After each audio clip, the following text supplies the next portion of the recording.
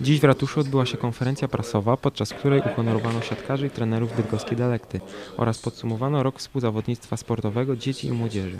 Prezydent Rafał Bruski przedstawił ranking przeprowadzony przez Ministerstwo Sportu i Turystyki. z panem prezesem, wiceprezesem Zawiszy, z panem Janem Żurkowskim, z panem Kazimierzem Droznem w piątek uczestniczyć y, w podsumowaniu rywalizacji młodzieży za 2011 rok. Było nam bardzo przyjemnie.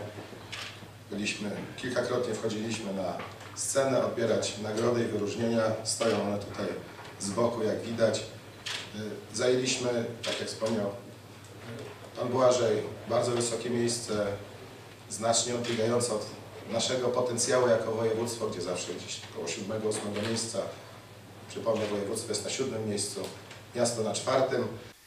Minister sportu wyróżnia najbardziej utalentowanych i naj, z największymi nadziejami na przyszłość młodych sportowców. I w tym roku y, nagrodę najlepszego na- y, sportowca młodego pokolenia otrzymała Joanna Bruska. Także było to duże wyróżnienie naszego województwa no i miasta Bydgoszczy, no i miasta zwłaszcza, klubu, no i rodziców. Tradycyjnie siłą napędową jest y, bydgoski Zawisza, który w sportach, sekcja y, sportów wodnych zdobyła 551 prawie punktów, 99 setnych, 550, 99 setnych.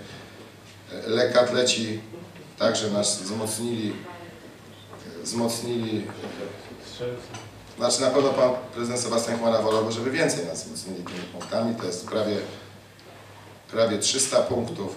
Ten sukces to jest największy sukces w ogóle w historii siatkówki męskiej w Bydgoszczy. No, po raz pierwszy mamy złoto.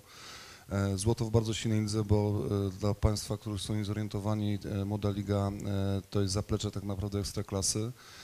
Mnie to napędza do dalszej, dalszej e, pracy i mam nadzieję, że również moich przyjaciół w siatkówce, tak jak Jurka czy, czy, czy Janusza i pozostałych e, działaczy. Mam nadzieję, że to w tym sezonie nie koniec, dlatego że wierzę głęboko, że mamy absolutnie duże szanse na to, żeby medale zdobywać e, i w juniorach, i w kadetach, i w młodzikach. To się tak naprawdę zaczyna teraz decydujący okres. Zawodnicy Dalekty nie kryli radości, lecz byli powściągliwi w swoich wypowiedziach. Bardzo się z tego cieszymy, że mogliśmy tutaj przyjść i odebrać gratulacje od prezydenta. I przede wszystkim bardzo się cieszymy z tego tytułu Mistrza Polski, bo była to dla nas ciężka przeprawa, dla nas, e, dla nas wszystkich i dla trenerów i dla zawodników. E, No, było ciężko dojść do tego miejsca, do tego finału i wszyscy na to bardzo mocno pracowali przez cały sezon. Dlatego tym bardziej to, to cieszy, że mieliśmy szansę i ją wykorzystaliśmy. Dlatego nic tylko się cieszyć. Ostatnio borykałem się z problemami, miałem problem z barkiem, potem nagle jakiś problem z plecami, że 3-4 dni byłem yy, niedysponowany praktycznie na treningach.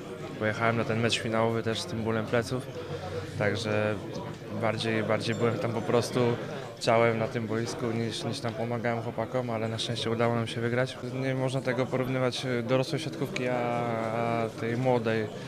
Wiadomo, że Bełchatów to Bełchatów. No, yy, pokazali po rundzie zasadniczej, że, że byli najsilniejszym zespołem, bo odstawili wszystkie drużyny, przynajmniej, przynajmniej nas, których byliśmy na drugim miejscu o 10 punktów. Myślę, że tutaj prezes yy, Piotr Sienko stawia co roku na, na młodzież, także tych, z każdego rocznika tych jakichś tam najbardziej, może tak powiem, yy, utalentowanych chłopaków próbuje zostawić, żeby mogli mieli szansę grać powiedzmy w tej młodej lidze, a pomału wchodzić w treningi z seniorskim zespołem i na pewno to dobrze funkcjonuje.